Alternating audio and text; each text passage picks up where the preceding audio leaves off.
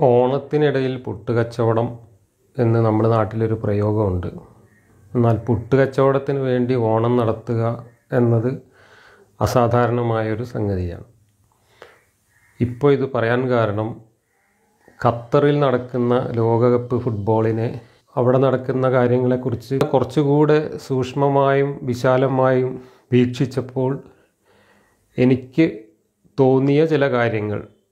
ഒരു നിഗമനമാണ് പൂർണമായും തെളിവോടുകൂടി പറയുന്ന ഒരു അഭിപ്രായമല്ല എന്നാൽ സാഹചര്യ തെളിവുകളുടെ അടിസ്ഥാനത്തിലുള്ള എന്റെ ഒരു ഊഹമാണ് പറയുന്നത്. ഈ ലോകകപ്പ് ഫുട്ബോൾ സാഹസികമായി തന്നെ ഏറ്റെടുത്തുകൊണ്ട് ഖത്തർ എന്ന ഇസ്ലാമിക ഫണ്ടമെന്റലിസ്റ്റുകളുടെ കേന്ദ്രമായിട്ടുള്ള ഒരു രാജ്യം ഇപ്പോൾ നടത്തിക്കൊണ്ടിരിക്കുന്നത് ഒരു കപട നാടകമാണോ എന്ന് സംശയിക്കാനുള്ള പല തെളിവുകളും നമ്മുടെ മുമ്പിൽ ഇപ്പോൾ വന്നുകൊണ്ടിരിക്കുകയാണ്. നമ്മൾ കഴിഞ്ഞ ആഴക്കടൽ സംവാദത്തിൽ വിഷയം അവതരിപ്പിച്ചുകൊണ്ട് ഞാൻ പരിചയപ്പെടുത്തിയ ഒരു സിന്താനി പ്രോജക്റ്റ് ഉണ്ടായിരുന്നു. ആ സിന്താനി പ്രോജക്റ്റിന്റെ ലക്ഷ്യവും ഉദ്ദേശ്യവും എന്തായിരുന്നു എന്നൊക്കെ അന്ന് നമ്മൾ വളരെ കൃത്യമായിട്ട് അവിടെ വിശദീകരിച്ചതാണ്. ഏതാണ്ട് അരനൂറ്റാണ്ട് കാലം മുമ്പ് അന്നത്തെ ഒരു ലോക സാഹചര്യങ്ങളെ മുന്നിൽ കണ്ടുകൊണ്ട് പാശ്ചാത്യരായിട്ടുള്ള ആളുകളെ പ്രത്യേകിച്ച് ക്രിസ്തു മതത്തോട് വലിയ താല്പര്യം ഇല്ലാതാവുകയും ശാസ്ത്രവും മതവും തമ്മിലുള്ള ഒരു വലിയ വൈരുദ്ധ്യം പ്രകടമായി തന്നെ ആളുകൾക്ക് ബോധ്യപ്പെട്ടതിന്റെ അടിസ്ഥാനത്തിലാണ് പാശ്ചാത്യ ലോകത്തൊക്കെ ക്രിസ്തു മതം വല്ലാതെ തകർന്നു പോയത്. അതിനെ മുതലെടുത്തുകൊണ്ട് ആ ഒരു ഗ്യാപ്പിലേക്ക് ഇസ്ലാമിനെ ഇടിച്ചു കയറ്റാൻ വേണ്ടി ബുദ്ധിപൂർവം കണ്ടെത്തിയ ഒരു പ്രോജക്റ്റായിരുന്നു സിന്താനി പ്രോജക്റ്റ് ബൈബിൾ ദൈവികമായി സംരക്ഷിക്കപ്പെടാത്ത എക്സ്പയറി ഡേറ്റ് കഴിഞ്ഞ ഒരു വേദഗ്രന്ഥമാണ് എന്ന ഒരു വാദവും ഖുർആാനിൽ ശാസ്ത്രം സത്യങ്ങൾ ഒരുപാട് വെളിപ്പെടുത്തിയിട്ടുണ്ട് എന്ന ഈ കൃത്രിമമായിട്ട് പടച്ചുണ്ടാക്കിയ കാര്യവും കൂടെ ചേർത്തുകൊണ്ട് പാശ്ചാത്യ ലോകത്തെല്ലാം ഇസ്ലാമിനെ പ്രചരിപ്പിക്കാനുള്ള ഒരു വലിയ ശ്രമമായിരുന്നു ഈ സിന്താനി പ്രോജക്റ്റിലൂടെ അവരുദ്ദേശിച്ചിരുന്നത് പടിഞ്ഞാറൻ രാജ്യങ്ങളിലുള്ള ക്രിസ്തുമതം തകർന്നു കിടക്കുന്ന ആ ഒരു സമൂഹത്തിൽ ആ മതമില്ലാത്ത ജനസമൂഹത്തിന്റെ ഇടയിലേക്ക് ഒരു മതത്തിന്റെ ആവശ്യകത ഉണ്ടെന്ന് തോന്നുന്ന ആളുകൾക്കെങ്കിലും സ്വീകാര്യമായ തരത്തിൽ ഇസ്ലാമിനെ ഒന്ന് ശാസ്ത്രവൽക്കരിച്ച് പുതിയ കുപ്പായം ഇടിയിച്ച് അവതരിപ്പിക്കുക. അതോടൊപ്പം തന്നെ ഖുർആൻ വള്ളിപുള്ളി കുത്തുകോമ വ്യത്യാസമില്ലാതെ അതുണ്ടായ കാലം തൊട്ട് സംരക്ഷിക്കപ്പെട്ട ദൈവീകമായി സംരക്ഷിക്കപ്പെട്ട ഒരു ഗ്രന്ഥമാണ് എന്ന ഒരു വാദവും. ഈ രണ്ട് വാദവും കൂടെ ചേർത്തുകൊണ്ടാണ് പാശ്ചാത്യ ലോകത്ത് ഇസ്ലാം വലിയൊരു പ്രചണ്ഡമായ പ്രചാരണം ഈ കഴിഞ്ഞ അരനൂറ്റാണ്ട് കാലമായി നടത്തി വന്നത്. ഈ പ്രചാരണത്തിന്റെ ചതിയിൽ കുടുങ്ങി ഒരുപാട് ആളുകൾ ഇസ്ലാമിലേക്ക് മാറി യൂറോപ്പിലും അമേരിക്കയിലും അതുപോലെയുള്ള സ്ഥലങ്ങളിലൊക്കെ ഒരുപാട് ആളുകളെ മാറ്റാൻ ഇവർക്ക് സാധിച്ചു. എന്നാൽ അടുത്ത കാലത്ത് വേൾഡ് ട്രേഡ് സെന്റർ തകർത്തുകൊണ്ട് ഇസ്ലാമിക ഭീകരവാദം വളരെ പ്രകടമായി ലോകത്ത് അതിന്റെ വികൃത മുഖം പ്രകടിപ്പിച്ചു തുടങ്ങിയ ഒരു കാലം തൊട്ട് കഴിഞ്ഞ ഒരു പതിറ്റാണ്ടിലേറെയായിട്ട് ഇവരുടെ ഈ കള്ളപ്രചാരണമെല്ലാം പൊളിഞ്ഞു. കാരണം ഇസ്ലാം എന്താണ് എന്ന് പഠിക്കാൻ വേണ്ടിയിട്ട് പാശ്ചാത്യ ലോകത്തൊക്കെ ഒരുപാട് ആളുകൾ മുന്നോട്ട് വരികയും അത് പഠിക്കുകയും ചെയ്തപ്പോഴാണ് ഇതിനകത്ത് ശാസ്ത്രമുണ്ട് ഇതിനകത്ത് ഭയങ്കര മാനവികതയുണ്ട് എന്നൊക്കെ പറയുന്ന സാധനവും അതുപോലെ ഈ ഖുറാൻ വള്ളിപുള്ളി കുത്തുപോമ വ്യത്യാസമില്ലാതെ എല്ലായിടത്തും ഒരേ ഖുറാനാണ് തുടങ്ങിയിട്ടുള്ള എല്ലാ അവകാശവാദങ്ങളും പഠനത്തിൽ പൊളിഞ്ഞ് പാളീസായി. അപ്പോൾ സ്വതന്ത്രമായി ഇതിനെയൊക്കെ മനസ്സിലാക്കാനും പഠിക്കാനും ശ്രമിച്ച ആളുകൾക്ക് ഇവർ ഈ നടത്തുന്ന പ്രചാരണമെല്ലാം വെറും കള്ള പ്രചരണമാണ് എന്ന് ബോധ്യപ്പെടുകയും അത് ഒരുപാട് ആളുകൾ പരസ്യപ്പെടുത്തുകയും ചെയ്തു. എന്ന് മാത്രമല്ല സിന്താനി പ്രോജക്റ്റ് ഒരു ചതിയൻ പ്രോജക്റ്റ് ആയിരുന്നു എന്നും അതിനകത്ത് കുറച്ച് ആളുകളെ വിലക്കെടുത്തുകൊണ്ട് മറ്റു കുറേ ആളുകളെ കബളിപ്പിച്ചുകൊണ്ട് നടത്തിയിട്ടുള്ള ഒരു കള്ളനാടകമായിരുന്നു അതെന്നും അതിൽ പറയുന്ന എല്ലാ അവകാശവാദങ്ങളും ഖുറാനിൽ ഉണ്ടെന്ന് പറയപ്പെടുന്ന ഈ ശാസ്ത്ര സത്യങ്ങൾ അതെല്ലാം തന്നെ വെറും കള്ള പ്രചാരണം മാത്രമായിരുന്നു എന്നും വ്യാജമായിട്ട് വ്യാഖ്യാന കസർത്തുകൾ നടത്തിക്കൊണ്ടും ഖുറാനിനെയും ശാസ്ത്രത്തെയും വളച്ചൊടിച്ചുകൊണ്ടും അതിന് കൃത്രിമമായി ചില ആളുകളെയൊക്കെ സെമിനാറുകളിലും മറ്റും വിളിച്ചു വരുത്തി ചതിയിൽ കുടുക്കി അവരെ കൊണ്ട് ചില അഭിപ്രായങ്ങൾ പറയിപ്പിച്ച് ആ അഭിപ്രായങ്ങളെ പിന്നീട് മാനിപ്പുലേറ്റ് ചെയ്തുകൊണ്ട് അല്ലെങ്കിൽ പലതരത്തിലുള്ള കൃത്രിമത്വം കാണിച്ചുകൊണ്ട് കള്ളപ്രചരണത്തിന് ഉപയോഗിക്കുകയും എല്ലാം ചെയ്തുകൊണ്ട് മൊത്തത്തിൽ ഒരു കപട നാടകമായിരുന്നു ഈ സിന്താനി പ്രോജക്റ്റിലൂടെ നടത്തി വന്നിരുന്നത്. അത് പൊളിഞ്ഞുപോയി അതുപോലെ ഖുറാൻ ദൈവികമായി സംരക്ഷിക്കപ്പെട്ടു എന്ന അവരുടെ വാദവും പൊളിഞ്ഞുപോയി ഈ വാദങ്ങളെല്ലാം പൊളിയുകയും സിന്താനി പ്രോജക്റ്റിന്റെ ആവശ്യത്തിന് ചതിക്കപ്പെട്ടിട്ടുള്ള ശാസ്ത്ര പണ്ഡിതന്മാരും മറ്റും അവരുടെ അനുഭവങ്ങൾ യൂട്യൂബിലൂടെയും മറ്റും വെളിപ്പെടുത്തുകയും ചെയ്തു. ഞങ്ങളിങ്ങനെയാണ് ചതിക്കപ്പെട്ടത് എന്ന കാര്യം വ്യക്തമായിട്ട് വെളിപ്പെടുത്തുകയും ചെയ്തു. അപ്പോൾ ആഴക്കടൽ ശാസ്ത്രം ആദ്യമായിട്ട് അവതരിപ്പിച്ച വില്യം ഹേ എന്ന് പറയുന്ന സയന്റിസ്റ്റ് തന്നെ താൻ ചതിക്കപ്പെടുകയായിരുന്നു എന്ന് പറഞ്ഞുകൊണ്ട് ചെയ്ത വീഡിയോ ഇന്ന് യൂട്യൂബിൽ കാണാം. ആ ആഴക്കടൽ ശാസ്ത്രമാണ് പിന്നീട് നമ്മൾ ഇതൊക്കെ ആമുഖമായി പറഞ്ഞതിന് ശേഷവും നമ്മുടെ സംവാദത്തിൽ എം എം അക്ബർ കൊണ്ടുവന്ന് അവതരിപ്പിച്ചത്. കാരണം ഈ മൈലെണ്ണ കച്ചവടക്കാരെ പോലെ കുറേ വാചകമടിക്കാനുള്ള കഴിവുണ്ടെങ്കിൽ സ്വന്തം വിശ്വാസികളായിട്ടുള്ള അനുയായികളെ കബളിപ്പിക്കാൻ കഴിയുമെന്ന ആത്മവിശ്വാസമാണ് ഈ ചതി പ്രയോഗിക്കാനും ഈ കള്ളപ്രചരണം നടത്താനും ഇവരെ ഇപ്പോഴും പ്രാപ്തരാക്കുന്നത്. അപ്പോൾ ഇതെല്ലാം പൊളിഞ്ഞു കഴിഞ്ഞു. ഇനി ഇസ്ലാമിന് ലോകത്ത് ഇതുപോലെയുള്ള ഒരു വീണ്ടെടുപ്പ് നടത്തണമെങ്കിൽ അതുപോലെ അടുത്ത ചതിക്കൊരു പ്രോജക്റ്റ് തയ്യാറാക്കണമെങ്കിൽ അതിനുള്ള വഴി എന്താണ് എന്ന് ആലോചിച്ചപ്പോഴാണ് ഖുർആാനിലെ മാനവികത എടുത്തിട്ട് വീശാം. അല്ലെങ്കിൽ ഖുർആാനിലെ മനുഷ്യ തുല്യത എന്നൊരാശയം എടുത്തിട്ട് വീശിയാൽ ഇനിയുള്ള കാലത്ത് ഇതുപോലെ ഒരു പ്രോജക്റ്റുമായിട്ട് പാശ്ചാത്യ ലോകത്തേക്ക് ഇറങ്ങി ചെല്ലാമെന്നും അങ്ങനെ ഇസ്ലാമിനെ ഒന്ന് കച്ചവടം ചെയ്യാമെന്നും ചിന്തിക്കുന്ന അഭിനവ സിന്താനിമാരുടെ ബുദ്ധിയിൽ നിന്ന് ഉദിച്ചതാണ് ഇത്തവണത്തെ വേൾഡ് കപ്പ് ഫുട്ബോൾ എന്ന് ബലമായും സംശയിക്കേണ്ടിയിരിക്കുന്നു. കാരണം ഖത്തർ പോലുള്ള ഒരു രാജ്യം ഇസ്ലാമിൽ തീർത്തും ഹറാമായിട്ടുള്ള അല്ലെങ്കിൽ നിഷിദ്ധമായിട്ടുള്ള ഏറ്റവും ചുരുങ്ങിയത് ഇസ്ലാം ഒട്ടും തന്നെ പ്രോത്സാഹിപ്പിച്ചിട്ടില്ലാത്ത കാര്യങ്ങളാണ് കളികളും വിനോദങ്ങളും അതിന്റെ കൂടെ നടക്കുന്ന കലാപരിപാടികളും മറ്റു സംഗീതവും നൃത്തവും അങ്ങനെയുള്ള കാര്യങ്ങളൊക്കെ ഇസ്ലാമിൽ നിഷിദ്ധമാണ്. അതൊക്കെ നിഷിദ്ധമാണ് എന്ന് പറഞ്ഞ് പ്രചരിപ്പിച്ചുകൊണ്ടിരിക്കുന്ന സലഫി ഇസ്ലാമിസ്റ്റുകളുടെ ആ ആസ്ഥാനമാണ് ഖത്തർ. അങ്ങനെയുള്ള സലഫി ഇസ്ലാം ലോകമാകെ പ്രചരിപ്പിക്കാൻ വേണ്ടി വലിയ തോതിൽ ഫണ്ട് കൊടുക്കുന്ന രാജ്യമായിരുന്നു ഖത്തർ. ആ രാജ്യത്ത് ഇന്ന് ഈ ലോകകപ്പ് ഒരുപാട് കൈക്കൂലി കൊടുത്തിട്ടാണ് എന്നൊക്കെ പറയപ്പെടുന്നു. അല്ലെങ്കിൽ അനർഹമായിട്ടാണ് നേടിയെടുത്തത് എന്നൊക്കെ പറയുന്നുണ്ട്. അങ്ങനെ ഇത് നേടിയെടുക്കുകയും അതിഭീമമായ ഒരു സംഖ്യ ചെലവഴിച്ചുകൊണ്ട് അവിടെ ഇതിനു വേണ്ട ഒരുക്കങ്ങൾ നടത്തുകയും ഒക്കെ ചെയ്ത് എന്തിനായിരുന്നു ഇത് എന്നതിന്റെ ചില ചില തെളിവുകളും സൂചനകളുമാണ് വേൾഡ് കപ്പിന്റെ ഉദ്ഘാടന വേള മുതൽ നമ്മൾ കണ്ടുകൊണ്ടിരിക്കുന്നത്. ഇതിൽ ഈ ഉദ്ഘാടന ചടങ്ങിൽ നടത്തിയ ഒരു നാടകം. അത് ഒരുപാട് ആളുകൾ അതിലെ മാനവികതയൊക്കെ പുകഴ്ത്തിക്കൊണ്ട് സംസാരിക്കുന്നുണ്ട്. അങ്ങനെ സംസാരിക്കുന്നവരെയൊന്നും നമുക്ക് കുറ്റപ്പെടുത്താൻ പറ്റില്ല. കാരണം വലിയ സിനിമാ രംഗത്തും സംഗീത രംഗത്തും നൃത്തരംഗത്തും ഒക്കെ ഉണ്ടായിരുന്ന സെലിബ്രിറ്റീസിനെ മാത്രം ഉപയോഗിച്ചുകൊണ്ടായിരുന്നു ഇത്രയും കാലം ഈ ലോകകപ്പിന്റെയൊക്കെ ഉദ്ഘാടന ചടങ്ങുകൾ നടത്തിയിരുന്നതെങ്കിൽ അതിൽ നിന്ന് വ്യത്യസ്തമായിട്ട് അല്പം മാനവികതയുടെ ഒരു നിറം നൽകുന്ന തരത്തിലുള്ള ഒരു പരിപാടി അവതരിപ്പിച്ചുകൊണ്ടാണ് ഇത്തവണ വേൾഡ് കപ്പിന്റെ ഉദ്ഘാടനം നടത്തിയത്. അത് ലോകമാകെ ശ്രദ്ധിക്കുകയും അതിന് വലിയ തോതിൽ ഇപ്പോൾ പ്രചാരണം നടത്തിക്കൊണ്ടിരിക്കുകയും ചെയ്യുന്നുണ്ട്. ഈ പ്രചാരണം നടത്തുന്നവരെ നമ്മൾ ശ്രദ്ധിച്ചാൽ അറിയാം ഈ ഫണ്ടമെന്റൽ ഇസ്ലാമിസ്റ്റുകളാണ് ഇന്ന് ഇത് വലിയ തോതിൽ സോഷ്യൽ മീഡിയയിലൂടെയും മറ്റും പ്രചരണം നടത്തിക്കൊണ്ടിരിക്കുന്നത്. അവിടെ നമ്മൾ കണ്ടത് മോർഗൻ ഫ്രീമാൻ എന്ന് പറയുന്ന ഒരു അമേരിക്കൻ സിനിമാ നടനെയാണ്. അദ്ദേഹം വംശീയമായ ചില പ്രശ്നങ്ങൾ ജീവിതത്തിൽ നേരിട്ട ആളാണ് എന്നൊക്കെ പറയപ്പെടുന്നുണ്ട്. അദ്ദേഹത്തെയാണ് ഇത്തവണ ഇവരുടെ മുഖ്യ അതിഥിയായിട്ട് ഈ ഉദ്ഘാടന ചടങ്ങിൽ കൊണ്ടുവന്നത്. അതിന്റെ കൂട്ടത്തിൽ ഖത്തറിൽ തന്നെയുള്ള ഒരു സോഷ്യൽ മീഡിയ സെലിബ്രിറ്റിയായി മാറിക്കഴിഞ്ഞ ഇതിനകം തന്നെ മാറിക്കഴിഞ്ഞിട്ടുണ്ടായിരുന്ന ഒരു ഭിന്നശേഷിക്കാരനായ ഒരു ചെറുപ്പക്കാരനെയും അവതരിപ്പിച്ചു. അങ്ങനെ അവരെ രണ്ടുപേരെയും കൂടെ സ്റ്റേജിൽ അവതരിപ്പിച്ചുകൊണ്ട് ഒരു ഖുർആൻ വാക്യം ഉരുവിടുകയാണ് അവിടെ ചെയ്തത്. ആ ഖുർആൻ വാക്യത്തിൽ പിടിച്ചു തൂങ്ങിക്കൊണ്ടാണ് ഇപ്പോൾ ഇസ്ലാമിസ്റ്റുകൾ ലോകമാകെ പ്രചരണം നടത്തിക്കൊണ്ടിരിക്കുന്നത്. ഇസ്ലാം വലിയ മാനവികതയുടെ ഏറ്റവും അടിസ്ഥാന സിദ്ധാന്തമായിട്ടുള്ള മനുഷ്യ തുല്യത എന്ന ആശയത്തെയാണ് ഉയർത്തിപ്പിടിക്കുന്നത് എന്ന് പറഞ്ഞുകൊണ്ട് അതിന് തെളിവായിട്ട് ഈ ഖുർആൻ വാക്യം എല്ലായിടത്തും വലിയ തോതിൽ ചർച്ചയാക്കിക്കൊണ്ടാണ് ഇപ്പോൾ ഈ പ്രചരണം നടക്കുന്നത്. എന്നാൽ ആരാണ് ഈ മോർഗൻ ഫ്രീമാൻ എന്ന് ഞാനൊന്ന് പരിശോധിച്ച് നോക്കിയപ്പോഴാണ് എനിക്ക് ഇത് രണ്ടാമത്തെ സിന്താനി പ്രോജക്റ്റാണ് എന്ന് ഏറെക്കുറെ സംശയം തോന്നിയത്.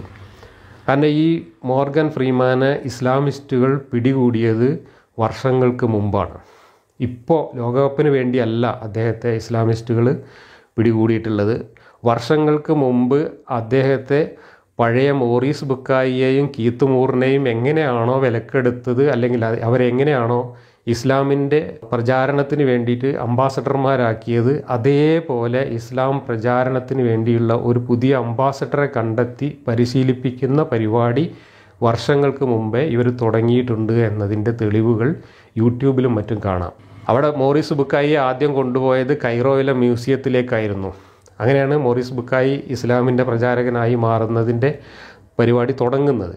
അതേപോലെ ഈ മോർഗൻ ഫ്രീമാൻ എന്ന് പറയുന്ന ആളെ കൈറോവിലേക്ക് കൂട്ടിക്കൊണ്ടുപോയി അവിടുത്തെ ഒരു ചരിത്ര പണ്ഡിതനായിട്ടുള്ള ഒരാൾ അവിടുത്തെ അൽ ഹുസൈൻ മോസ്കിൽ കൂട്ടിക്കൊണ്ടുപോയിട്ട് ആ മോസ്കിൽ വെച്ചിട്ട് ഇദ്ദേഹവുമായിട്ട് നടത്തുന്ന കുറേ സംഭാഷണങ്ങളും അദ്ദേഹത്തെ കൊണ്ട് ബാങ്ക് വിളിപ്പിക്കുന്നതും ഒക്കെ ആയിട്ടുള്ള വീഡിയോകൾ നിങ്ങൾക്ക് കാണാം. ഇതൊക്കെ വർഷങ്ങൾക്ക് മുമ്പ് അല്ലെങ്കിൽ ഒരു വർഷമെങ്കിലും മുമ്പ് നടന്ന സംഭവങ്ങളാണ്.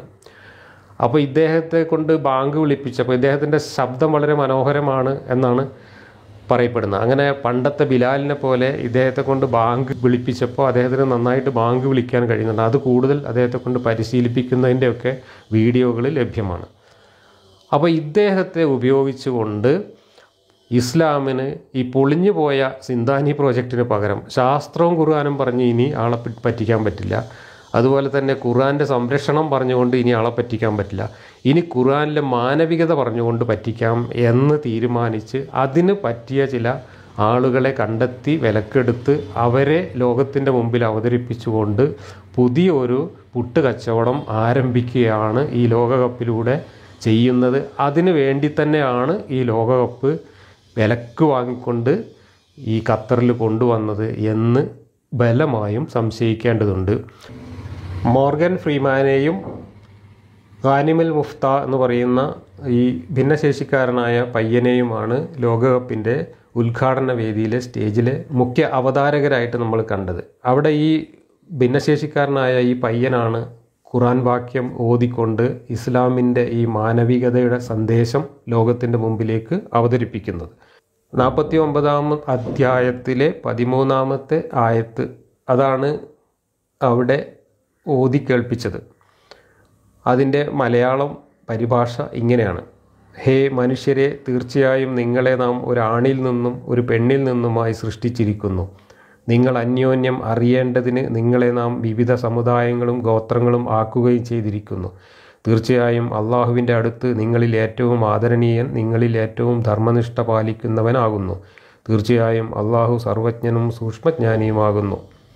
ഇതാണ് ഒരു ആണിന്റെയും പെണ്ണിന്റെയും മക്കളാണ് ലോകത്തുള്ള മുഴുവൻ മനുഷ്യരും എന്ന് പറയുന്ന ഈ ആശയത്തിലൂടെ ഖുർആൻ മാനവ സമത്വത്തിന്റെയും മനുഷ്യരൊന്നാണ് എന്ന ആശയത്തിന്റെയും വലിയൊരു സന്ദേശം ലോകത്തിന്റെ മുമ്പിലേക്ക് അവതരിപ്പിക്കുന്നു എന്നൊരു മട്ടിൽ ഇപ്പോൾ കൊണ്ടുപിടിച്ച് ഇസ്ലാമിസ്റ്റുകൾ പ്രചരിപ്പിച്ചുകൊണ്ടിരിക്കുന്നത്.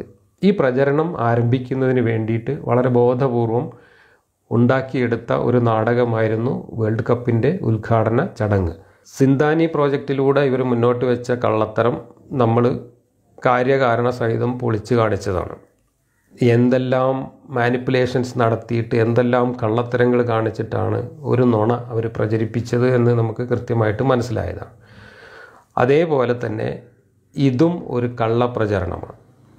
കാരണം ഖുർആാനിൽ ഓരോ സന്ദർഭങ്ങളിൽ മുഹമ്മദ് ഓരോ ആളുകളോട് പ്രത്യേകമായി പറഞ്ഞിട്ടുള്ള കുറേ കാര്യങ്ങളുണ്ട്.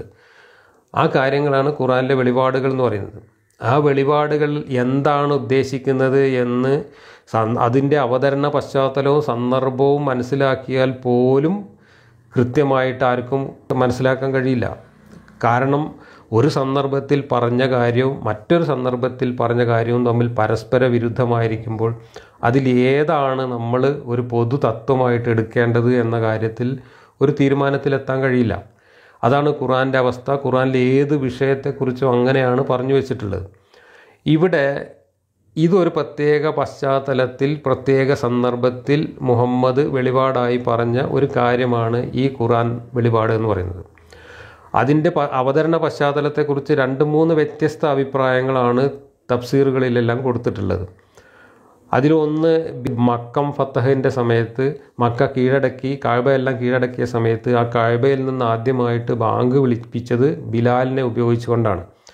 അങ്ങനെ ബിലാലിനെ ഉപയോഗിച്ച് ബാങ്ക് വിളിപ്പിച്ചപ്പോൾ ചില ആളുകൾ അവിടുത്തെ ചില പ്രമാണിമാർക്ക് മുസ്ലിം ഇസ്ലാമിലുണ്ടായിരുന്ന അല്ലെങ്കിൽ മുഹമ്മദിന് പൂർണമായും കീഴടങ്ങിയ പ്രമാണിമാരിൽ തന്നെ ചിലർക്ക് അത് ദഹിച്ചില്ല. അവർ ചിലർ ഇയാളെ അവഹേളിക്കുന്ന രീതിയിൽ സംസാരിച്ചു. ഇങ്ങനെ ഇങ്ങനെ ഒരു കറുത്ത അടിമയെ കൊണ്ടാണോ ഈ ഇത് ചെയ്യിക്കേണ്ടത്? ഈ മുഹമ്മദിന് വേറെ ആരെയും കിട്ടിയില്ലേ? എന്ന മട്ടിൽ ആ സമയത്ത് ഒരു പരിഹാസം ആരുടെയോ ഭാഗത്തു നിന്ന് വന്നു എന്നും ആ പരിഹാസം കേട്ടപ്പോൾ അതിന് മറുപടി എന്ന നിലക്കാണ് ഈ ആയത്ത് മുഹമ്മദ് അവതരിപ്പിച്ചത് എന്നാണ് ഒരു വിവരണം. മറ്റൊരു വിവരണം വേറെ ഏതോ ഒരു പ്രമാണി മറ്റൊരു സന്ദർഭത്തിൽ മക്കം ഫത്തേന്റെ സന്ദർഭത്തിലല്ല മറ്റൊരു സന്ദർഭത്തിൽ ഏതോ ഒരു പ്രമാണിയായിട്ടുള്ള ആൾ തന്റെ കുലീനത്വത്തിന് ചേരാത്ത ഒരാൾ അയാൾക്ക് സീറ്റ് ഒഴിഞ്ഞു കൊടുത്തില്ല ഇരിപ്പിടം ഒഴിഞ്ഞു കൊടുത്തില്ല എന്ന കാരണത്താൽ അയാളെ മോശമായിട്ട് പരാമർശിക്കുന്നത് കേട്ടു. അയാൾ ആ പറയുന്ന വ്യക്തി ഒരു കുലീന കുടുംബത്തിൽപ്പെട്ട വ്യക്തി ആയിരുന്നില്ല. അയാളുടെ അച്ഛന്റെ പേരിലല്ലാതെ അമ്മയുടെ പേരിൽ മാത്രം അറിയപ്പെട്ടിരുന്ന ഒരു വ്യക്തിയാണെന്നാണ് തഫ്സീറിൽ നിന്ന് മനസ്സിലാവുന്നത്. അപ്പോൾ അങ്ങനെയുള്ള ഒരു വ്യക്തി തനിക്ക് സീറ്റ് ഒഴിഞ്ഞു തന്നില്ല എന്നതിന്റെ പേരിൽ ഒരാൾ ബഹളം വെച്ചപ്പോഴാണ് ആളുകളെ അങ്ങനെ കുലീനരെന്നും അല്ലെങ്കിൽ മറ്റുള്ളവരെ എന്നും നമ്മൾ വേർതിരിക്കേണ്ടതില്ല. നമ്മളുടെ മാനദണ്ഡം അതല്ല എന്ന് പറയുന്ന ഈ ഒരു ആയത്ത് ആ സമയത്താണ് അവതരിപ്പിച്ചത് എന്ന് പറയുന്നുണ്ട്. ഇങ്ങനെ രണ്ട് മൂന്ന് സന്ദർഭങ്ങളാണ് പറഞ്ഞിട്ടുള്ളത്. ഇനി ഏത് പറഞ്ഞ ഏത് സന്ദർഭമായാലും ശരി ഇതിന്റെ ആശയത്തിന് വ്യത്യാസമൊന്നും വരുന്നില്ല. ഇത് ഖുറാനിൽ നിന്ന് നമുക്ക് ചെറിയിപ്പിക്ക് ചെയ്യാവുന്ന ഏറ്റവും നല്ല വെളിപാടുകളിൽ ഒന്നാണ്. അതിൽ തർക്കമൊന്നുമില്ല. കാരണം അതിനകത്ത് മനുഷ്യരെ തുല്യരാണ് എന്നുള്ള ഒരു ആശയം വരുന്നുണ്ട്. അതിന് തർക്കമൊന്നുമില്ല. പക്ഷേ ഖുർആാനിൽ ഏതെങ്കിലും സന്ദർഭത്തിൽ മുഹമ്മദ് ഇങ്ങനെ തുല്യരാണ് എന്ന് പറഞ്ഞത് മാത്രം എടുത്തുകൊണ്ട് ഇസ്ലാമിന്റെ പൊതുവിലുള്ള തത്വം അതാണ് എന്ന് നമുക്ക് പറയാൻ കഴിയുമോ? അത് പറയാൻ കഴിയണമെങ്കിൽ ഇതിന് വിരുദ്ധമായിട്ടുള്ള യാതൊന്നും ഖുർആാനിൽ കാണാൻ പാടില്ല. എന്നാൽ ഖുർആൻ എടുത്ത് മറിച്ചു നോക്കിയാൽ പച്ചയായിട്ട് തന്നെ മനുഷ്യർ തുല്യരല്ല എന്ന് ആവർത്തിച്ച് പറയുന്ന വെളിപാടുകൾ ഖുർആാനിൽ തന്നെ കാണാം. അത് പറഞ്ഞതും മറ്റു പല പശ്ചാത്തലങ്ങളിലാണ് പല സന്ദർഭങ്ങളിലാണ്. അതിന്റെ സന്ദർഭം നോക്കിയാലും ഇതേപോലെ തന്നെയാണ്. എല്ലാ മനുഷ്യരും തുല്യരാണ് എന്ന് കരുതിക്കൊണ്ട് ചില ആളുകൾ ചില കാര്യങ്ങൾ പറഞ്ഞപ്പോൾ അങ്ങനെ അല്ല എന്ന് പറഞ്ഞ് തിരിച്ച് അവരുടെ ധാരണ തിരുത്തുന്നതാണ് ഇത് സന്ദർഭം. അത്തരം സന്ദർഭത്തിൽ പറഞ്ഞ ഒരുപാട് വാക്യങ്ങൾ ഖുർആാനിൽ കാണാം. മനുഷ്യർ തുല്യരല്ല എന്ന് ദൈവം മനുഷ്യരെ പറഞ്ഞ് ഉറപ്പിച്ച് ബോധ്യപ്പെടുത്തുന്ന വാക്യങ്ങൾ. അത് വേറെന്തെങ്കിലും കാര്യം പറയാൻ വേണ്ടിയല്ല പറഞ്ഞത്. മറിച്ച് മനുഷ്യർ തുല്യരല്ല എന്ന് തന്നെ പറയാൻ വേണ്ടി പറഞ്ഞ വാക്യങ്ങളാണ്. അതിന്റെ സന്ദർഭം അനുസരിച്ച് നോക്കുമ്പോൾ. എന്താണ് ആ വാക്യങ്ങൾ? ഞാൻ അതിന്റെ ഒന്ന് രണ്ട് ഉദാഹരണങ്ങൾ പറയാം. ഇതാ പതിനാറാമത്തെ അധ്യായത്തിൽ എഴുപത്തി ഒന്നാമത്തെ വാക്യവും എഴുപത്തി അഞ്ചാമത്തെ വാക്യവുമാണ് ഈ കാണുന്നത്. അതിന്റെ മലയാളം ആണ് ഞാനിവിടെ ചോപ്പിൽ അടയാളപ്പെടുത്തി വെച്ചിട്ടുള്ളത്. അള്ളാഹു നിങ്ങളിൽ ചിലരെ മറ്റു ചിലരേക്കാൾ ഉപജീവനത്തിന്റെ കാര്യത്തിൽ മെച്ചപ്പെട്ടവരാക്കിയിരിക്കുന്നു. എന്നാൽ മെച്ചം ലഭിച്ചവർ തങ്ങളുടെ ഉപജീവനം തങ്ങളുടെ വലതു കൈകൾ അധീനപ്പെടുത്തി വെച്ചിട്ടുള്ളവർക്ക് വിട്ടുകൊടുക്കുകയും അങ്ങനെ ഉപജീവനത്തിൽ അവർ തുല്യരാകുകയും ചെയ്യുന്നില്ല. അപ്പോൾ അള്ളാഹുവിന്റെ അനുഗ്രഹത്തെയാണോ അവൻ നിഷേധിക്കുന്നത്? ഇവിടെ എട്ടുകാലി മമ്മൂഞ്ഞായിട്ട് ഇവിടെ അള്ളാഹു പ്രത്യക്ഷപ്പെടുകയാണ്. ഒരാൾക്ക് സമ്പന്ന സമ്പത്ത് കൊടുത്തതും വേറൊരാളെ അയാളുടെ അടിമയാക്കിയതൊക്കെ അള്ളാഹു തന്നെയാണ് എന്ന് പറഞ്ഞുകൊണ്ട് എല്ലാ ഉച്ചനീചത്വങ്ങളുടെയും കാരണക്കാരനായി സ്വയം ഉത്തരവാദിത്തം ഏറ്റെടുത്തുകൊണ്ടാണ് ഇത് പറയുന്നത്. എന്നിട്ട് പറയുന്നത് എന്താണ്? ഈ സമ്പന്നനായ ആൾക്ക് ഒരുപാട് സ്വത്തും കാര്യങ്ങളൊക്കെ ഉണ്ട് എങ്കിൽ പോലും അയാൾ അയാളുടെ സ്വന്തം വലങ്കൈക്ക് ഉടമപ്പെട്ട അടിമയ്ക്കൊന്നും കൊടുക്കുന്നില്ലല്ലോ. അതുകൊണ്ട് അവർ രണ്ടുപേരും തുല്യരല്ലല്ലോ എന്നാണ് ഇവിടെ പറയുന്നത്. അത് പറഞ്ഞ സന്ദർഭവും ഇതേപോലത്തെ ഒരു സന്ദർഭമാണ്. അത് ഞാൻ പിന്നീട് പറയാം. ഇനി ഇതേ അധ്യായത്തിലെ തൊട്ടടുത്തുള്ള മറ്റൊരു വാക്യം എഴുപത്തി അഞ്ചാം വാക്യം നോക്കൂ. മറ്റൊരാളുടെ ഉടമസ്ഥതയിലുള്ള യാതൊന്നിനും കഴിവില്ലാത്ത ഒരു അടിമയെയും നമ്മുടെ വകയായി നാം നല്ല ഉപജീവനം നൽകിയിട്ട് അതിൽ നിന്ന് രഹസ്യമായും പരസ്യമായും ചെലവഴിച്ചു കൊണ്ടിരിക്കുന്ന ഒരാളെയും അള്ളാഹു ഉപമയായി എടുത്തു കാണിക്കുന്നു. ഇവർ തുല്യരാകുമോ? അള്ളാഹുവിന് സ്തുതി. പക്ഷേ അവരിൽ അധിക പേരും മനസ്സിലാക്കുന്നില്ല. ഇവിടെ സമ്പന്നനായ ഒരാൾ ഉടമയായ ഒരാൾ അതേസമയത്ത് അടിമയും ഭിന്നശേഷിക്കാരനുമായ ഒന്നിനും കഴിവില്ലാത്ത മറ്റൊരാൾ ഇങ്ങനെ രണ്ടു പേരെ മുഹമ്മദ് തന്റെ മുമ്പിൽ ചൂണ്ടിക്കാണിച്ചുകൊണ്ട് രണ്ട് വ്യക്തികളെ തന്നെ ചൂണ്ടിക്കാണിച്ചുകൊണ്ടാണ് ഈ ആയത്ത് അവതരിപ്പിച്ചത് എന്ന് ഇതിന്റെ സന്ദർഭ പശ്ചാത്തലത്തിൽ നിന്ന് മനസ്സിലാവുന്നു.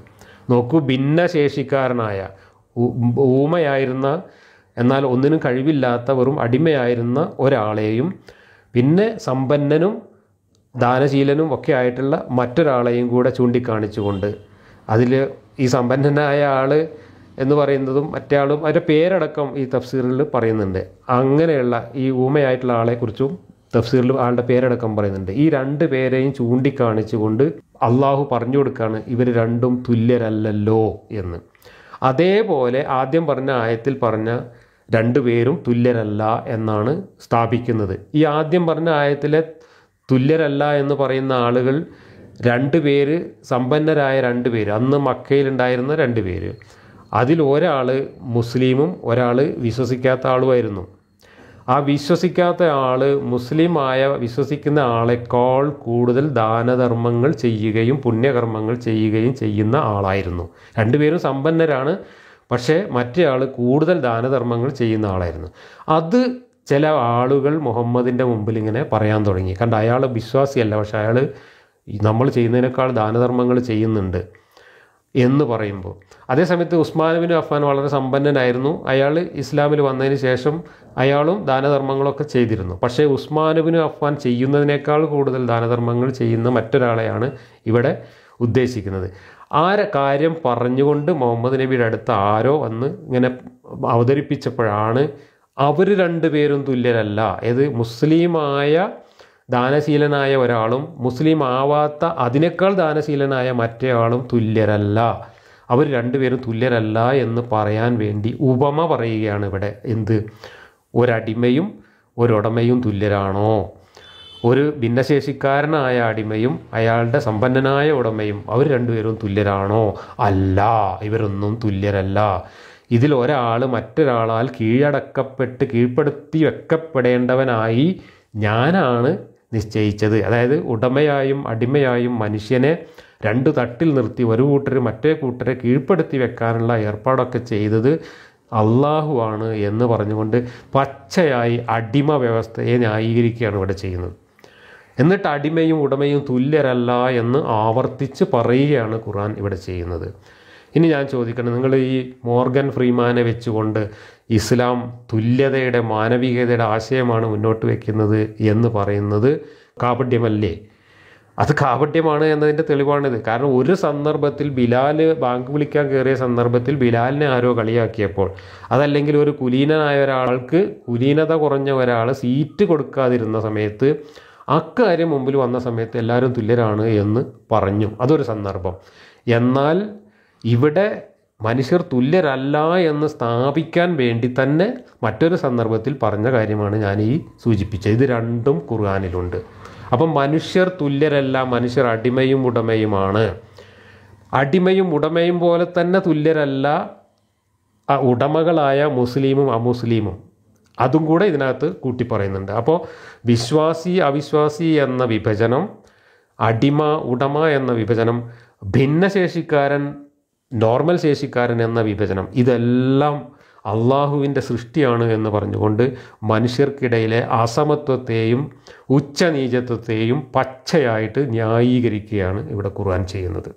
ഈ ഖുർആനിൽ തന്നെയാണ് ഖത്തറിൽ ഉദ്ധരിക്കപ്പെട്ട ഖുർആൻ വാക്യവും ഉള്ളത്.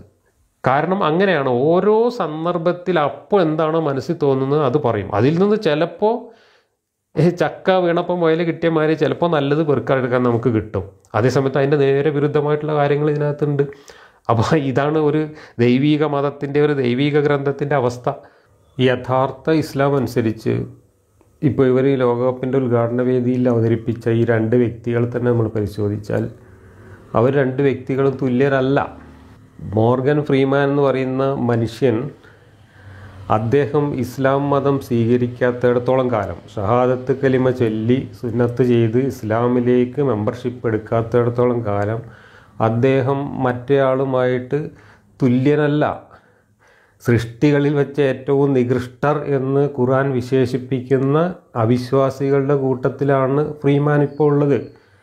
നാളെ അദ്ദേഹം ഷഹാദത്ത് ചൊല്ലി ഇസ്ലാമിലേക്ക് വന്നാൽ അയാൾ തുല്യനായിട്ട് കണക്കാക്കപ്പെടും. അതല്ലാത്തിടത്തോളം കാലം സൃഷ്ടികളിൽ വെച്ചൊരു നികൃഷ്ടനായ സൃഷ്ടിയാണ് അദ്ദേഹം. ഖുർആൻ അനുസരിച്ച് ഹദീസ് അനുസരിച്ച് ഇസ്ലാമിന്റെ നിയമം അനുസരിച്ച്. അപ്പോൾ ഇവർ ഈ തുല്യത എന്ന് പറഞ്ഞുകൊണ്ട് അവതരിപ്പിച്ച നാടകം തന്നെ യഥാർത്ഥ ഇസ്ലാമിന്റെ മുമ്പിൽ അവിടെ തന്നെ പൊളിയും. വിശ്വാസമില്ലാത്ത ഒരാൾ അയാൾ ആരായിരുന്നാലും ശരി അയാൾ വിശ്വാസികളായ ആളുകളുമായിട്ട് തുലനം ചെയ്താൽ അവർ ഒരിക്കലും തുല്യരാവുകയില്ല എന്നത് തന്നെയാണ് ഇസ്ലാമിന്റെ അടിസ്ഥാന സിദ്ധാന്തം. ഇവർ ഈ പറയുന്ന മാനവികതയും തുല്യതയും ഒക്കെ വരുന്നത് എപ്പോഴാണ്?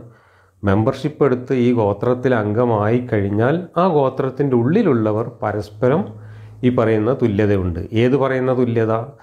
അവർ ഉടമകൾ പുരുഷന്മാർ എന്ന കാറ്റഗറിയിൽ ഉൾപ്പെടുന്നവരാണെങ്കിൽ അവർക്ക് തുല്യതയുണ്ട്. അല്ലാതെ ഈ വിശ്വാസികളുടെ കൂട്ടത്തിൽ ആണെങ്കിൽ പോലും ഈ ഗോത്രത്തിനകത്താണെങ്കിൽ പോലും ഉടമയും അടിമയും തുല്യരല്ല. പിന്നെ തൊഴിൽപരമായി പോലും ഉച്ചനീചത്വമുള്ള ഒരുപാട് ഇതുണ്ട്. അതൊന്നും പിന്നെ ഖുർആൻ കൊണ്ട് നമുക്ക് തെളിയിക്കാൻ പറ്റില്ല. മറ്റ് നിയമസംഹിതകളിലും ഹദീസുകളിലും ഒക്കെ അങ്ങനെയുണ്ട്. അതിലേക്ക് ഞാൻ ഇപ്പോൾ കടക്കുന്നില്ല. ഭരണാധികാരികളാവേണ്ടത് മുഹമ്മദിന്റെ ഗോത്രത്തിലും കുടുംബത്തിലും പെട്ടവരായിരിക്കണം എന്ന് വരെ പറഞ്ഞു വെച്ചിട്ടുണ്ട്. ഹദീസുകളിലുണ്ട്. കുറേശികൾക്ക് മാത്രമേ ഭരണാധികാരിയാവാൻ അവകാശമുള്ളൂ എന്ന്. അത്തരത്തിലുള്ള എല്ലാ വൃത്തികേടുകളും അതിനകത്തുണ്ട് മനുഷ്യ തുല്യത എന്ന് പറയുന്നൊരു സംഭവമേ ഇല്ല. ഇനി തുല്യത ഉള്ളത് എവിടെയാണ്? മുസ്ലിം ആയി കഴിഞ്ഞാൽ അയാൾ സ്വതന്ത്ര പുരുഷനാണെങ്കിൽ ആ പുരുഷന്മാർക്ക് തമ്മിൽ തുല്യത ഉണ്ട് എന്ന് വേണമെങ്കിൽ അവകാശപ്പെടാം. അവിടെ അയാൾ സ്വതന്ത്രനല്ല എങ്കിൽ അടിമയാണെങ്കിൽ അയാൾക്ക് സ്വതന്ത്രനായ ഉടമയുമായിട്ട് തുല്യതയില്ല. ഉടമയെപ്പോലെ തുല്യനല്ല. അയാൾ പുരുഷനാണെങ്കിൽ അപ്പുറത്ത് സ്ത്രീ പകുതി സമൂഹ മനുഷ്യ സമൂഹത്തിന്റെ പകുതി വരുന്ന സ്ത്രീകൾ ഇവർക്ക് തുല്യരല്ല. സ്ത്രീയും പുരുഷനും തുല്യരല്ല. പകുതിയും ഇരട്ടിയുമായിട്ടാണ് നിൽക്കുന്നത്. അപ്പോൾ സ്ത്രീ പുരുഷൻ അടിമ ഉടമ വിശ്വാസി അവിശ്വാസി ഈ നിലകളിലെല്ലാം മനുഷ്യരെ തുല്യരല്ല എന്ന രീതിയിൽ ഉറപ്പിച്ചുകൊണ്ട് തന്നെ അവർക്കിടയിലുള്ള അസമത്വത്തെ ഊട്ടി ഉറപ്പിച്ചുകൊണ്ട് തന്നെ പ്രഖ്യാപിക്കുന്ന മതമാണ് ഇസ്ലാം മതം. അങ്ങനെയുള്ള ഒരു മതത്തിൽ അമുസ്ലിമായ ഒരാളെ കൊണ്ടുവന്നിട്ട് മുസ്ലിമായ ഒരാളുടെ കൂടെ നിർത്തിയിട്ട് മാനവികത തുല്യത എന്നൊക്കെ പറയുന്നത് ആ മതത്തെ കുറിച്ച് പച്ചക്കള്ളം പറഞ്ഞുകൊണ്ട് ചതി പ്രയോഗിക്കലാണ്. അനിസ്ലാമികമായ കാര്യങ്ങൾ ഇസ്ലാമിന്റെ പ്രചാരണത്തിന് വേണ്ടി ചതി എന്ന നിലയിൽ ഉപയോഗപ്പെടുത്താം എന്നത് ഈ സലഫി ഇസ്ലാമിസ്റ്റുകളുടെ തീവ്ര ഇസ്ലാമിസ്റ്റുകളുടെ ഒരു നിലപാടാണ്. മൗദൂദിസ്റ്റുകളും അതുപോലെ ഈജിപ്തിലെ ബ്രദർഹുഡ് തുടങ്ങിയിട്ടുള്ള സംഘടനകളൊക്കെ എല്ലാ കാലത്തും ഈ ചതി പ്രയോഗിച്ചിട്ടുണ്ട്. അതിനവർക്ക് പ്രമാണം മുഹമ്മദ് അങ്ങനെ ചതികൾ പ്രയോഗിച്ചിരുന്നു എന്നതുകൊണ്ട് ഇസ്ലാമിന്റെ വളർച്ചയ്ക്ക് വേണ്ടി ചതി പ്രയോഗിക്കാം എന്നാണ്. നുണ പറയാം ചതി പ്രയോഗിക്കാം തക്കയ്യ എന്നതാണ് പറയുന്നത്. അങ്ങനെ ജമാഅത്തെ ഇസ്ലാമിക്കാർ കേരളത്തിൽ അവരുടെ സമ്മേളനം നടക്കുന്ന പന്തലിന്റെ മുമ്പിൽ ഒട്ടകത്തിന്റെ പ്രതിമ ഉണ്ടാക്കി വെച്ചിരുന്നു. ഹിറ നഗർ എന്ന് പറഞ്ഞിട്ട് കക്കാട് നടന്ന സമ്മേളനത്തിൽ ഒരു ജന്തുവിന്റെ പ്രതിമ ഉണ്ടാക്കുന്നത് ആറാമാണ് ഇസ്ലാമിൽ. അങ്ങനെ പ്രതിമ ഉണ്ടാക്കി കഴിഞ്ഞാൽ പരലോകത്ത് മലക്ക് വന്നിട്ട് അതിന് ജീവൻ ഇട്ട് കൊടുക്കാൻ പറയുമെന്ന് പറയുന്ന ഹദീസ് ബുഖാരിയിലുണ്ട്. അപ്പോൾ അങ്ങനെ അറാമായിട്ടുള്ള കാര്യങ്ങൾ പോലും എന്തിനാണ് ഉണ്ടാക്കി വെച്ചിരിക്കുന്നത്? അത് അമുസ്ലിങ്ങളെ ആകർഷിക്കാൻ വേണ്ടിയായിരുന്നു. കാരണം ആ സമ്മേളനം തന്നെ നടത്തിയത് അമുസ്ലിങ്ങളെ ക്ഷണിച്ചുകൊണ്ട് അവരെ ഇസ്ലാമിലേക്ക് ആകർഷിക്കാൻ വേണ്ടിയിട്ടാണ്. അപ്പോൾ അങ്ങനെയുള്ള സ്ഥലങ്ങളിൽ അനിസ്ലാമികമായ കാര്യങ്ങൾ. നാളെ ഒരു പക്ഷേ അവർ മദ്യം വിളമ്പിക്കൊണ്ടും ക്യാബറ നൃത്തം നടത്തിക്കൊണ്ടും അതുപോലുള്ള എല്ലാ ഹറാമായ കാര്യങ്ങളും ചെയ്തുകൊണ്ടും ഇസ്ലാമിലേക്ക് ആളെ കൂട്ടാൻ ശ്രമിക്കും. അതിനൊക്കെ അവർക്ക് ന്യായമുണ്ട്. അതെല്ലാം ഈ ഇസ്ലാമികമായ ചതിയുടെ ഭാഗമായിട്ട്. അതേപോലെയുള്ള ഒരു ചതിയാണ് ഇവിടെയും ഇവരാരംഭിച്ചിട്ടുള്ളത്. ആ ചതിയാണ് സിന്താനി പ്രോജക്റ്റിലൂടെ ഇവർ അവതരിപ്പിച്ചത് നുണ പറഞ്ഞുകൊണ്ട് ആളുകളെ വശീകരിച്ച് കെണിയിൽപ്പെടുത്തി മതത്തിൽ ചേർക്കുക. ഇതാണ് ഇസ്ലാമിന്റെ ഒരു രീതി. ആ രീതിയാണ് ഇവിടെയും അവലംബിക്കുന്നത്. ഇനി മറ്റൊരു വാക്യം നോക്കും. നാൽപ്പത്തി മൂന്നാം അധ്യായത്തിലെ മുപ്പത്തിരണ്ടാം വാക്യം. അവരാണോ നിന്റെ രക്ഷിതാവിന്റെ അനുഗ്രഹം പങ്കുവെച്ചു കൊടുക്കുന്നത്? നാമാണ് ഐഹിക ജീവിതത്തിൽ അവർക്കിടയിൽ അവരുടെ ജീവിതമാർഗം പങ്കുവെച്ചു കൊടുത്തത്. അവരിൽ ചിലർക്ക് ചിലരെ കീഴാളരാക്കി വെക്കത്തക്കവണ്ണം അവരിൽ ചിലരെ മറ്റു ചിലരെക്കാൾ ഉപരി നാം പല പടികൾ ഉയർത്തുകയും ചെയ്തിരിക്കുന്നു. നിന്റെ രക്ഷിതാവിന്റെ കാരുണ്യമാകുന്നു. അവർ ശേഖരിച്ചു വെക്കുന്നതിനേക്കാൾ ഉത്തമം. ഇവിടെയും അടിമയും ഉടമയും തുല്യരല്ല. ഒരു കൂട്ടരെ കീഴടക്കി വെക്കാൻ വേണ്ടി മറ്റൊരു കൂട്ടരെ അവരെക്കാൾ ഉയർന്ന നിലയിൽ സൃഷ്ടിച്ചിരിക്കുന്നത് ഞാനാണ് എന്ന് പറഞ്ഞുകൊണ്ട് മനുഷ്യർക്കിടയിലെ അസമത്വത്തെയും ഉച്ചനീചത്വത്തെയും മാത്രമല്ല അടിമത്വത്തെയാണ് ഇവിടെ പച്ചയായിട്ട് ന്യായീകരിക്കുന്നത്. വിശ്വാസികളായ മുസ്ലിങ്ങളായിട്ടുള്ള ആളുകൾക്കിടയിൽ തന്നെയാണ് അള്ളാഹു കീഴ്പ്പെടുത്തി വെക്കാൻ ഏർപ്പാടാക്കിയിട്ടുള്ള അടിമകളും അള്ളാഹു അധികാരം പ്രയോഗിക്കാൻ വേണ്ടി ഏർപ്പാടാക്കിയിട്ടുള്ള ഉടമകളും ഉള്ളത് അവർ തുല്യരല്ല എന്ന് പച്ചയായിട്ട് അള്ളാഹു തന്നെ പറയുന്നുണ്ട്. അപ്പോൾ വിശ്വാസി അവിശ്വാസി തുല്യരല്ല അടിമ ഉടമ തുല്യരല്ല. ഇനി ജെൻഡർ അപ്പാർത്തീഡിന്റെ മതമാണ് ഇസ്ലാം. ജെൻഡർ അപ്പാർത്തീഡ് ഇസ്ലാമിന്റെ കൾച്ചറുമായി ബന്ധപ്പെട്ടൊരു സാധനമാണ്. പച്ചയായിട്ട് ഖുറാനിൽ തന്നെ പറയുന്നത് അന്നിസായ മുപ്പത്തിനാലിൽ നാല് മുപ്പത്തിനാലിൽ പറയുന്നു പുരുഷന്മാർ സ്ത്രീകളുടെ മേൽ കാര്യകർത്താക്കളാവുന്നു. സ്ത്രീകളുടെ മേൽ അധികാരം സ്ഥാപിക്കേണ്ടവരാകുന്നു പുരുഷന്മാർ എന്ന് പറയുന്നു. അവകാശങ്ങളെല്ലാം പുരുഷന്റെ പകുതിയാണ് സ്ത്രീക്ക് എന്ന് പറയുന്നു. സ്ത്രീയുടെ സാക്ഷ്യം പുരുഷന്റെ പകുതിയാണെന്ന് പറയുന്നു. സ്ത്രീക്ക് സ്വത്തവകാശം പുരുഷന്റെ പകുതിയാണെന്ന് പറയുന്നു. സ്ത്രീ കൊല്ലപ്പെട്ടാൽ കൊടുക്കേണ്ട ബ്ലഡ് മണി പോലും പുരുഷൻ കൊല്ലപ്പെട്ടാൽ കൊടുക്കേണ്ടതിന്റെ പകുതിയാണെന്ന് പറയുന്നു. അങ്ങനെ സ്ത്രീയെ പുരുഷന്റെ പകുതി മാത്രം ബുദ്ധിയും പകുതി മാത്രം വ്യക്തിത്വവുമുള്ള രണ്ടാം തരക്കാരിയായി കണക്കാക്കിക്കൊണ്ട് പുരുഷൻ സ്ത്രീയെ അവളുടെ മേൽ അധികാരം സ്ഥാപിക്കേണ്ടവനാണ്. അങ്ങനെയാണ് ഞാൻ സൃഷ്ടിച്ചിട്ടുള്ളത് എന്ന് പറഞ്ഞുകൊണ്ട് ഭീകരമായ പുരുഷാധിപത്യത്തെ പുരുഷാധിപത്യ ഫാസിസത്തെ ന്യായീകരിക്കുകയാണ് ഇസ്ലാം ചെയ്തിട്ടുള്ളത്. എവിടെയാണ് ഇസ്ലാമിൽ മാനവികതയും തുല്യതയുള്ളത് ഇതെല്ലാം മറച്ചു വെച്ചുകൊണ്ട് ഒരു സന്ദർഭത്തിൽ നിന്ന് അടർത്തിയ ഖുറാൻ വാക്യം ചൂണ്ടിക്കാണിച്ചുകൊണ്ട് അല്ലെങ്കിൽ അത് ഓതി കേൾപ്പിച്ചുകൊണ്ട് ലോകത്തെ മുഴുവൻ പറ്റിക്കാമെന്നാണ് ഇവർ കണക്കൂട്ടുന്നത് നേരത്തെ ശാസ്ത്രം പറഞ്ഞ ആളെ പറ്റിച്ച് ഇസ്ലാമിനെ കച്ചവടം ചെയ്യാൻ ശ്രമിച്ചതുപോലെ അതൊന്നും ഇനി വിലപ്പോവില്ല എന്ന് കണ്ടപ്പോൾ ഇനി മാനവികത പറഞ്ഞ് ഇസ്ലാമിന് കച്ചവടം ചെയ്യാമെന്നാണ് ഇവർ വ്യാമോഹിക്കുന്നത്. പക്ഷേ അതൊന്നും ഇനിയുള്ള കാലം നടപ്പിലാവുകയില്ല. കാരണം ഇത് സോഷ്യൽ മീഡിയയുടെ കാലമാണ്. നിങ്ങൾ എന്തൊക്കെ കാപട്യങ്ങൾ കാണിച്ചാലും നിമിഷങ്ങൾക്കകം അത് പൊളിച്ചു കാണിക്കാൻ ലോകത്തിന്റെ എല്ലാ ഭാഗത്തും എല്ലാ ഭാഷയിലും ഇസ്ലാമിൽ നിന്ന് പുറത്തു വന്ന ആളുകൾ തന്നെ ഉണ്ട് എന്നതുകൊണ്ട് ഈ കച്ചവടമൊന്നും ഇനി നടക്കാൻ പോകുന്നില്ല എന്നുള്ളതാണ് വാസ്തവം. ലോകം മുഴുവൻ ഇസ്ലാമിന്റെ കീഴിൽ കൊണ്ടുവരിക എന്ന ഒരു വലിയ പൊളിറ്റിക്കൽ എയിം വെച്ചുകൊണ്ട് നടത്തുന്ന കപട നാടകങ്ങളാണ് ഇതിന്റെ എല്ലാം പിന്നിലുള്ളത്. അതിന് ലോകകപ്പ് ഫുട്ബോളിനെ ഒരു വേദിയാക്കി മാറ്റി അവിടെ മൈലെണ്ണ കച്ചവടം നടത്താൻ ഇവർ ശ്രമം നടത്തുന്നു. ഇതാണ് ഈ വിൽ മോർഗൻ ഫ്രീമാനെ വെച്ചുകൊണ്ട് നടത്തിയ ഈ നാടകത്തിലൂടെ നമുക്ക് വ്യക്തമാകുന്നത്. ഇനി സാഹചര്യ തെളിവുകൾ ഇതുകൊണ്ട് അവസാനിക്കുന്നില്ല. ഇതോടൊപ്പം തന്നെ അവിടെ ലോകത്തെ ഏറ്റവും വലിയ മൈലെണ്ണ കച്ചവടക്കാരൻ ഇസ്ലാമിന്റെ ഏറ്റവും വലിയ മൈലെണ്ണ കച്ചവടക്കാരനായ സാക്കിർ നായിക്ക് അവിടെ എത്തിയിട്ടുണ്ട്. അവിടെ മതപരിവർത്തനം നടത്തുന്ന നാടകങ്ങൾ നടത്തിക്കൊണ്ട് ഈ നാടകങ്ങൾ ലോകത്തിന്റെ മുമ്പിൽ പ്രദർശിപ്പിക്കാൻ തുടങ്ങി. അതിൽ വ്യാജ വീഡിയോകൾ വരെ അതിന് ഉപയോഗിച്ചിട്ടുണ്ട്. കാരണം രണ്ടായിരത്തി പതിനാറിൽ ഖത്തറിൽ വെച്ച് തന്നെ സാക്കിർ നായിക്ക് നടത്തിയ മതപരിവർത്തനത്തിന്റെ വീഡിയോ ഒക്കെ ഇപ്പോൾ നടത്തിയതിന്റെ വീഡിയോ എന്ന മട്ടിൽ വ്യാജ പ്രചരണം ഉൾപ്പെടെ നടത്തുന്നുണ്ട്. അതുകൂടാതെ ബ്രസീലിൽ നിന്നൊരു കുടുംബത്തെ മൊത്തം ഇതാ ഞങ്ങൾ ഇസ്ലാമാക്കിയിരിക്കുന്നു എന്ന് പറഞ്ഞുകൊണ്ട് സാക്കിർ നായിക്ക് അവരെ കൊണ്ട് ഷഹാദത്ത് ചെല്ലിക്കുന്ന രംഗമൊക്കെ ഇപ്പോൾ ലോകത്ത് ഇവർ പ്രചരിപ്പിച്ചുകൊണ്ടിരിക്കുകയാണ്. അപ്പോൾ ഈ സാക്കിർ നായിക്കിനെ അവിടെ വിളിച്ചു വരുത്തിയതും അവിടെ ഈ ഇസ്ലാമിന്റെ ഈ മതപരിവർത്തനത്തിന്റെ നാടകം നടത്തുന്നതും അതോടൊപ്പം തന്നെ ഉദ്ഘാടന ചടങ്ങിൽ ഈ നാടകം നടത്തിയതുമൊക്കെ ഞാൻ ഈ പറഞ്ഞതുപോലെ സിന്താനി പ്രോജക്റ്റിന് ബദലായിട്ട് പുതിയ ഒരു പ്രോജക്റ്റ് ലോകത്തിന്റെ മുമ്പിൽ അവതരിപ്പിച്ചുകൊണ്ട് ഇസ്ലാം കച്ചവടം ചെയ്യാൻ വേണ്ടി നടത്തുന്ന ഒരു നാടകം തന്നെയാണ് എന്നാണ് ഞാൻ സംശയിക്കുന്നത്. ലോകകപ്പ് ഖത്തറിലേക്ക് കൊണ്ടുവന്നത് പോലും ഈ ഒരു നാടകം നടത്താൻ വേണ്ടി ഇങ്ങനെ ഒരു കച്ചവടം നടത്താൻ വേണ്ടി ഉദ്ദേശിച്ചുകൊണ്ടാണ് എന്നാണ് ഞാൻ ഊഹിക്കുന്നത്. അതുകൊണ്ടാണ് ഞാൻ ആദ്യം പറഞ്ഞത് ഓണത്തിന്റെ ഇടയിലെ പുട്ടുകച്ചവടമല്ല പുട്ടുകച്ചവടം നടത്താൻ വേണ്ടി ഓണം ഏറ്റെടുത്തതാണ് ഇവിടെ എന്ന് ബലമായും സംശയിക്കേണ്ടിയിരിക്കുന്നു എന്ന്. എന്തായാലും ഈ പുട്ടുകച്ചവടമൊന്നും ഇനി സിന്താനി പ്രോജക്റ്റിലൂടെ കുറേ പേരെയൊക്കെ അന്ന് അൻപത് കൊല്ലം മുമ്പ് പറ്റിക്കാൻ പറ്റിയെങ്കിലും ഇനി അത് നടക്കുമെന്ന് തോന്നുന്നില്ല. കാരണം ഖുർആൻ ദൈവീകമായി സംരക്ഷിക്കപ്പെട്ടു എന്ന വാദമൊക്കെ ഇന്ന് ലോകത്തിന്റെ മുമ്പിൽ പൊളിഞ്ഞ് പാളീസായത് ലോകം കണ്ടുകൊണ്ടിരിക്കുകയാണ്.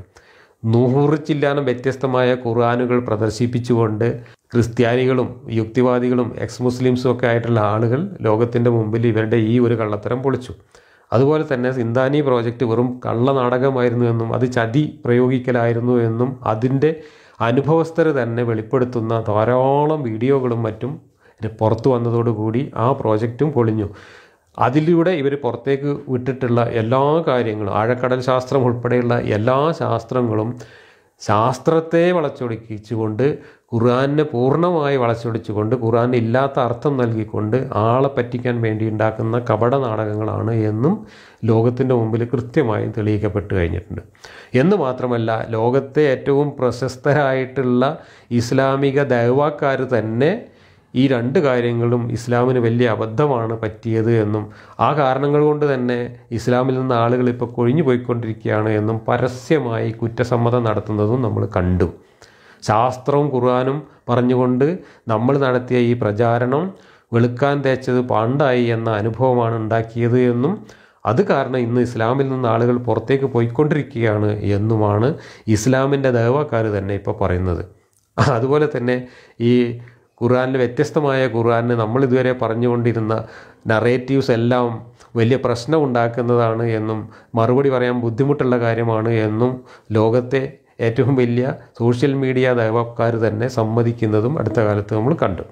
അപ്പോൾ ഇങ്ങനെയെല്ലാം പൊളിഞ്ഞ് പാളീസാവുകയും അതോടൊപ്പം തന്നെ ലോകത്തിന്റെ മുമ്പിൽ ഈ തീവ്രവാദ ആക്രമണങ്ങളുടെ പേരിൽ ഇസ്ലാമിന്റെ പ്രതിച്ഛായ വളരെയധികം വികൃതമാവുകയും ചെയ്ത ഒരു കാലത്ത് ആ പ്രതിച്ഛായ വീണ്ടെടുക്കാനും ആ വൈകൃതങ്ങൾക്ക് മുകളിൽ ഒരു പെയിന്റ് അടിച്ച് കാണിച്ചുകൊണ്ട് ഇനിയും ഇസ്ലാമിനെ ഒന്ന് കച്ചവടം ചെയ്യാൻ പറ്റുമോ എന്ന് ശ്രമിക്കുന്നതിന്റെ ഭാഗമായിട്ടാണ് ഈ കപട നാടകവുമായിട്ട് ഖത്തറിൽ ഇവരിപ്പോൾ ഈ കളി കളിക്കുന്നത്. ഇസ്ലാമിക രാജ്യങ്ങളിൽ തന്നെ ഇസ്ലാമിൽ നിന്ന് ആളുകൾ പുറത്തേക്ക് ഒഴുകിക്കൊണ്ടിരിക്കുകയാണ്.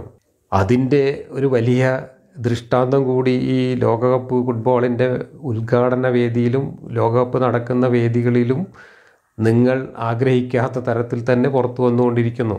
ഇറാന്റെ ഫുട്ബോൾ ടീമിന്റെ കൂടെ വന്നിട്ടുള്ള കാണികൾ സ്ത്രീകളായിട്ടുള്ള കാണികൾ വരെ മാഷ അമീനിയുടെ പടവും അവരുടെ പേരും ഉയർത്തി കാണിച്ചുകൊണ്ട് ഇറാനിലെ പ്രക്ഷോഭങ്ങൾക്ക് അനുകൂലമായിട്ടുള്ള പ്രചാരണം നടത്തുന്നു. ഇറാന്റെ ഫുട്ബോൾ ടീമിന്റെ ക്യാപ്റ്റൻ വരെ ഖത്തറിൽ വന്നുകൊണ്ട് മാഷാ അമീനിക്കും അവർ പ്രക്ഷോഭം നടത്തുന്നവർക്കും പിന്തുണ പ്രഖ്യാപിക്കുന്നു. മാത്രമല്ല ഒരു ഫുട്ബോൾ ടീം തങ്ങളുടെ രാജ്യത്തിന്റെ ദേശീയ ഗാനം പോലും പാടാതെ പ്രതിഷേധിക്കുന്ന ഒരു രംഗം ലോകകപ്പിന്റെയൊക്കെ ചരിത്രത്തിൽ ആദ്യമായിട്ടാണ് കാണുന്നത്. ഇതും ഈ ലോകകപ്പിലൂടെ ലോകം കണ്ടുകൊണ്ടിരിക്കുകയാണ്. അപ്പോൾ ഇസ്ലാം തകർന്നുകൊണ്ടിരിക്കുന്നതിന്റെ ചിത്രവും ഈ ലോകകപ്പിന്റെ വേദികളിൽ നിന്ന് തന്നെ ലോകം കണ്ടുകൊണ്ടിരിക്കുമ്പോൾ അതിന്റെ ഇടയിൽ ഈ പുട്ട് കച്ചവടം എത്രത്തോളം നടക്കും? എന്ന് കണ്ടറിയുക തന്നെ വേണം. എന്റെ ഒരു നിഗമനമനുസരിച്ച് ഈ നാടകം പൊളിയുക മാത്രമല്ല ഇതിലൂടെ ഇസ്ലാമിന്റെ മുഖം കൂടുതൽ വികൃതമാവാനാണ് സാധ്യത. മനുഷ്യരെല്ലാവരും തുല്യ അന്തസ്സുള്ളവരും തുല്യ അവകാശങ്ങളുള്ളവരുമാണ് എന്ന തത്വം മനുഷ്യാവകാശ തത്വം. ആ മനുഷ്യാവകാശ തത്വങ്ങളുടെ ഏറ്റവും അടിസ്ഥാനപരമായിട്ടുള്ള ഒന്നാമത് പറഞ്ഞ ആമുഖമായി പറഞ്ഞ കാര്യമാണ് തുല്യതയുടെ ആശയം. മനുഷ്യർ തുല്യരാണ്. ജാതി മത വർഗ വർണ ദേശ ഭാഷ ലിംഗ വ്യത്യാസമന്യേ എല്ലാ മനുഷ്യർക്കും തുല്യ അന്തസ് തുല്യ അവകാശം. ഇതാണ് മനുഷ്യാവകാശത്തിന്റെ ഏറ്റവും അടിസ്ഥാന തത്വം. അതാണ് മാനവിക തുല്യത എന്ന ആശയത്തിന്റെ അടിസ്ഥാനം. ഈ ആശയത്തെ ഇസ്ലാം അംഗീകരിക്കുന്നുണ്ടോ? ഇസ്ലാമിന് ഇത് അംഗീകരിക്കാൻ കഴിയില്ല എന്നതിന്റെ തെളിവാണ് യു ഡി എച്ച് ആർ വന്നപ്പോൾ ഇസ്ലാമിക രാജ്യങ്ങൾ മുസ്ലിം രാജ്യങ്ങൾ അതിനെ എതിർക്കുകയും പകരം സി ഡി എച്ച് ആർ എന്ന് പറഞ്ഞുകൊണ്ട് കൈറോയിൽ മീറ്റിംഗ് കൂടി വേറൊരു മനുഷ്യാവകാശ പ്രഖ്യാപനം നടത്തുകയും ചെയ്തത്. എന്തിനാണ് ഈ മനുഷ്യാവകാശ പ്രഖ്യാപനത്തെ തള്ളിക്കൊണ്ട് വേറൊരു മനുഷ്യാവകാശ പ്രഖ്യാപനം നടത്തിയത്? മനുഷ്യർ തുല്യരാണ് എന്ന് ഇസ്ലാമിന് അംഗീകരിക്കാൻ പറ്റില്ല. സ്ത്രീയും പുരുഷനും തുല്യരല്ല ഇസ്ലാമിൽ. അടിമയും ഉടമയും ഇസ്ലാമിൽ തുല്യരല്ല. വിശ്വാസിയും അവിശ്വാസിയും ഇസ്ലാമിൽ തുല്യരല്ല. ഇവരൊന്നും തുല്യരാക്കി കണക്കാക്കിക്കൊണ്ട് ഇവർക്ക് മാനുഷികമായിട്ടുള്ള അവകാശങ്ങളും തുല്യമായ അന്തസ്സും നൽകാൻ ഇസ്ലാമിക നിയമം നിലനിൽക്കുന്ന ഒരു രാജ്യത്തും സാധ്യമല്ല. കാരണം ഒരാൾ മതം ഉപേക്ഷിച്ചാൽ അയാളെ കൊല്ലണമെന്ന് പറയുന്ന നിയമം ഇന്നും ഇസ്ലാമിക രാജ്യങ്ങളിൽ നിലനിൽക്കുന്നു. ഇത് ഈ പറഞ്ഞ മനുഷ്യാവകാശ തത്വത്തിനെതിരാണ്.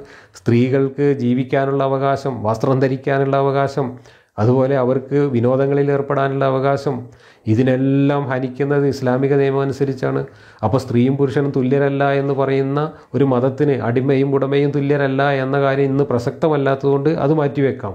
പക്ഷേ സ്ത്രീയും പുരുഷനും തുല്യരല്ല എന്ന് പറയുന്ന ഒരു മതത്തിന് മുസ്ലിമും അമുസ്ലിമും തുല്യരല്ല എന്ന് പറയുന്ന ഒരു മതത്തിന് എങ്ങനെയാണ് മനുഷ്യാവകാശ തത്വങ്ങളെ അംഗീകരിക്കാൻ പറ്റുക? അത് അംഗീകരിക്കാൻ പറ്റാത്തതുകൊണ്ടാണ് യു ഡി എച്ച് ആറിന് പകരം സി ഡി എച്ച് ആർ ഉണ്ടാക്കിക്കൊണ്ട് ഇവർ ലോകത്തിന്റെ മുമ്പിൽ പരിഹാസ്യരായത്. അങ്ങനെയാണെങ്കിൽ ഈ സി ഡി എച്ച് ആറൊക്കെ വലിച്ചെറിഞ്ഞിട്ട് യു ഡി എച്ച് ആറിനെ അംഗീകരിക്കാൻ ഇന്ന് ഖത്തറിൽ വെച്ചിട്ട് ഇസ്ലാമിക ലോകം തയ്യാറാവുമോ? പ്രഖ്യാപനം നടത്തും തയ്യാറാവുമോ? ഈ ഖുറാൻ വാക്യം ഉദ്ധരിച്ചുകൊണ്ട് ഇസ്ലാമിൽ മാനവികതയുണ്ട് എന്ന് തെറ്റിദ്ധരിപ്പിക്കാൻ ശ്രമിക്കുന്നവർ ഞങ്ങൾ മനുഷ്യാവകാശ തത്വങ്ങളെ പൂർണമായി അംഗീകരിക്കുന്നു. മനുഷ്യരെല്ലാവരും തുല്യരാണ്. ജാതിമത വർഗവർണ ഭാഷാ ഭേദമന്യേ ലിംഗഭേദമന്യേ എല്ലാ മനുഷ്യരും തുല്യരാണ് എന്ന് സമ്മതിക്കാൻ ഇസ്ലാമിന് സാധിക്കുമോ സാധിക്കില്ല. കാരണം ഇസ്ലാമിൽ അങ്ങനെ ഒരു സാധനമില്ല. ഇസ്ലാം അടിമത്വത്തിന്റെ കാലഘട്ടത്തിൽ പുരുഷ മേധാവിത്വത്തിന്റെ കാലഘട്ടത്തിൽ രൂപപ്പെട്ട ഒരു ഗോത്രമതമാണ്. അതുകൊണ്ട് തന്നെ ഈ കപട നാടകമൊന്നും ഇന്ന് ലോകത്ത് വില പോവില്ല. അതുകൊണ്ട് ഈ പുട്ടുകച്ചവടമൊക്കെ ഉദ്ദേശിച്ച ഒരു ഫലവും കാണാതെ കൂടുതൽ പരിഹാസ്യമാവുക തന്നെ ചെയ്യും എന്നാണ് ഞാൻ കരുതുന്നത്.